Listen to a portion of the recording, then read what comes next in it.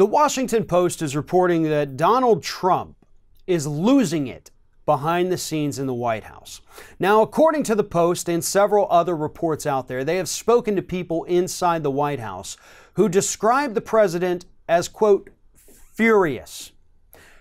The first thing that Donald Trump is furious about, according to these people that these papers spoke to, is that he didn't understand how bad the midterms actually turned out for Republicans until a few days later. I mean, if you'll recall the evening of the voting uh, last Tuesday, and then on Wednesday morning, he talked about what a great victory it was for Republicans. He was super happy. He really, truly thought Republicans kicked ass. And then he started realizing, like, wait a minute, we did lose the House. Oh, and then as the week went on, oh, we lost another seat. There goes another one. There goes another. There goes another, and another, and another. So, yeah, the blue wave may not have manifested itself on election night, but over the next few days, and honestly, even through this week, we're still seeing some of those smaller waves come crashing in.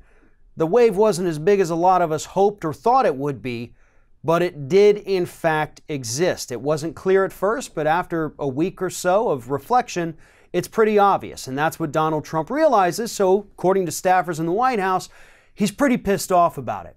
But that's not the only thing that's making him angry. He's also very angry about the reception that he received overseas this past weekend over the Veterans Day uh, Memorial holiday.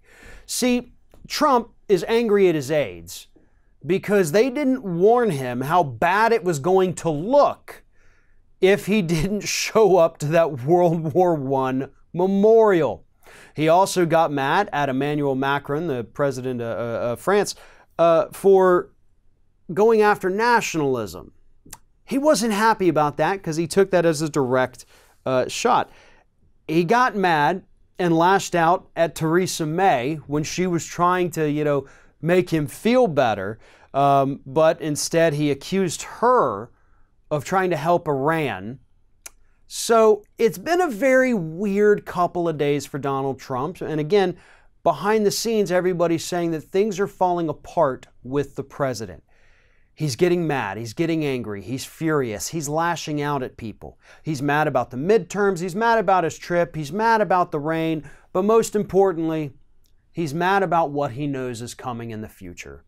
Because he knows that right around the corner, there's going to become a Mueller avalanche, really. We're going to see more indictments. We're going to see more subpoenas. According to reports, the Trump, uh, Trump and his lawyers actually sat down and answered the written questions on Monday to Robert Mueller. So I'm sure that didn't leave him in a very good mood.